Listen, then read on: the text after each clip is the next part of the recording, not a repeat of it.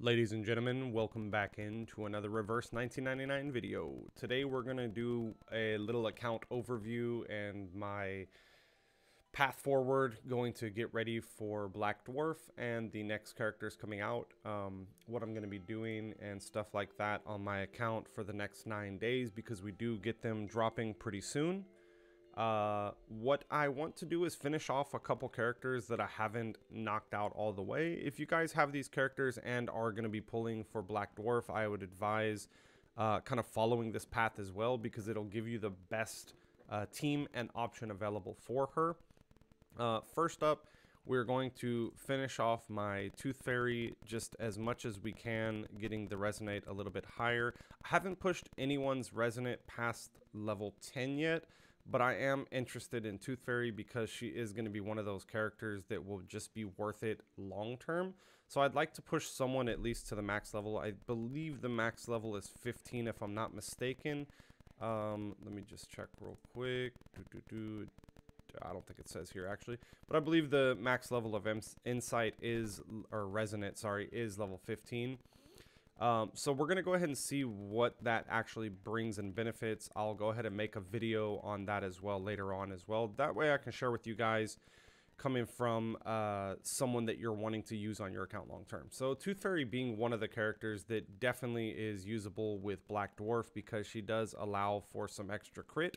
And with Black Dwarf already having a high crit chance and crit kit, uh, it just adds some spark to that. If you did not pull Tooth Fairy, and you have Balloon Party. Balloon Party is also a very good option for a healer um, with Black Dwarf as well. If you're going more on a budget friendly, uh, free to play style, I guess you can say for team.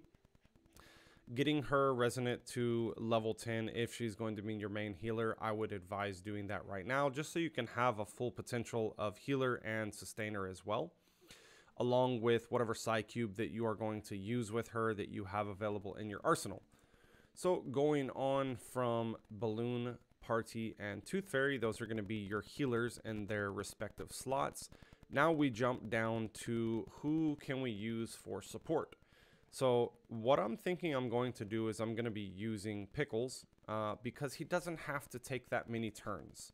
Uh, Pickles is a I, I feel like Pickles is just built specifically for a lot of characters that need to be kind of uh, AP greedy or skill point greedy when it comes to taking as many turns as possible to get their ults up or stacking their uh, whatever their uh, abilities are that allow them to ramp up in Black Dwarfs. She does the stacking of the planets, so of course she wants to use as many skills or incantations as possible to get those stacks as quick as possible. So I haven't pushed him to Insight 3.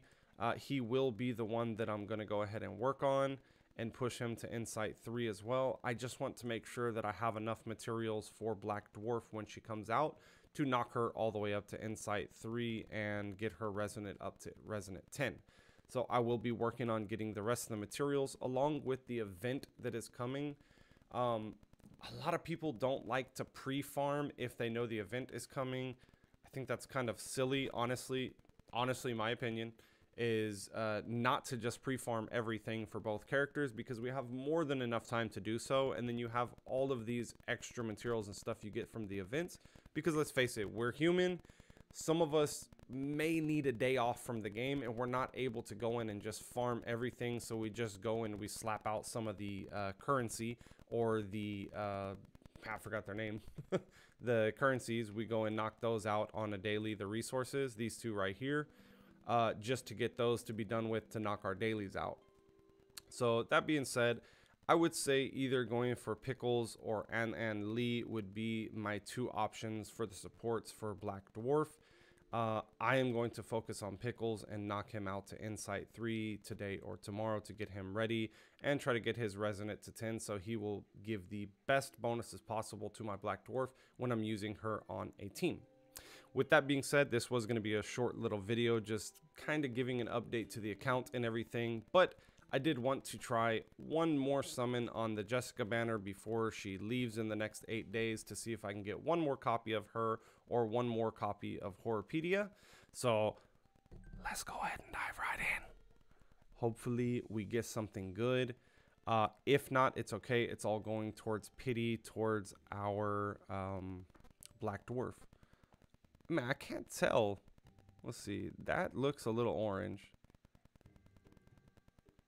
No. Okay. That's just... Uh, hopefully we get a Horropedia then. That's kind of good. Because that means that this is just one more towards pity. Uh, going for our next character. Who we grabbing? Oh, I already have her maxed out. So that is just going to be a lot of lost albums right there. And a bunch more lost albums because I'm pretty sure all of them are maxed out as well. Anyways, guys, please hit that subscribe button. It does help so much. I appreciate you guys for watching. If y'all have any questions down below about characters that you can use in retrospect, if you don't have any of the characters that I was going over in the video, I would assume most of you guys have at least some of those characters at this point and stage in the game. Um, but anyways, thank y'all so much for watching. I'll see you guys in the next video.